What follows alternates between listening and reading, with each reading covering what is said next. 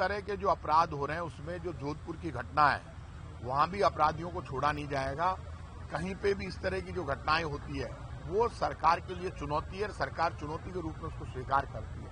हमारी पुलिस, पूरी सरकार ऐसे अपराधियों को जेल पहुंचाकर सख्त से सख्त कार्रवाई करने के लिए ही कल जैसे कानून ला रहे हैं।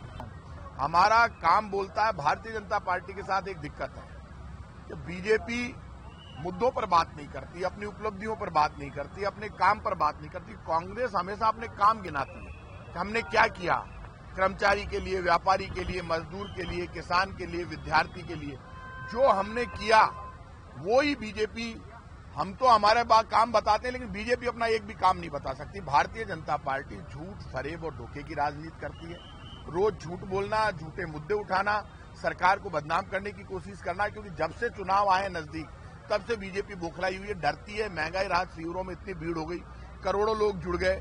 जो करोड़ों लोग जब राजस्थान की सरकार के साथ खड़े हो गए, मुख्यमंत्री के कार्यक्रम सफल हो गए तो उसके बाद बीजेपी डरी हुई है। बीजेपी कुछ भी कर ले। मैं इतना जानता हूँ कि बीजेपी के सामने प्रॉब्लम यह है कि उसके डर पैदा हो गया चुनाव का। बीजेपी जानती है कि जनता का समर्थन बीजेपी को नहीं मिल रहा, इसलिए बीजेपी डरी हुई है। समझ में आ रही, मैं तो इतना कहूँगा कि आप कल के लाठीचार्ज को देखिए। हम भी स्टूडेंट लीडर रहे हैं।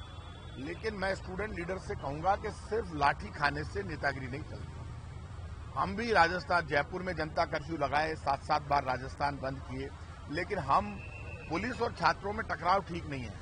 मैं तो छात्रों से भी कहूँगा, पुलिस से भी कहूँगा, बेवजह लाठी खाने की ज़रूरत नहीं है। अब आरपीएससी में आप घुसने की कोशिश कर रहे हो, कानून हाथ में ले रहे हो, इतना सब कुछ करने की ज़रूरत ही नहीं है। एक तरफ़ तो लोग कहते हैं कि हमारा बीजेपी से कोई लेना देना नहीं है, और फिर आप इस तरह का एक्शन लेते हो। मेरा मानना है चाहे विद्यार्थी परिषद हो, चाहे एनएसयूआई हो। हमारा पुलिस से बेवजह टकराव नहीं होना चाहिए, टकराव टलना चाहिए। आप मुद्दे उठाओ, भीड़ इकट्ठी करो, प्रदर्शन करो। लेकिन छात्र राजनीति में बेवजह मुकदमे नहीं लगवाने चाहिए, ये मुकदमे लगते हैं। जो बाद में जाकर ठीक नहीं होते, एक दो लोग तो स्टूडेंट लीडर बन जाते हैं। लेकिन बाद में बरसों तक मुकदमे चलते हैं, पता चला कि बच्चे बड़े बड़े हो गए, फिर वो मुकदमे चलते जा रहे हैं। बाद में वो कॉम्प्रोमाइज होते हैं। इसलिए कानून हम हाथ में नहीं ले, जो वीडियोज़ में देखता हूँ, उसमें साफ़ दिख रहा है कि अकेली पुलिस जिम्मेदार नहीं है।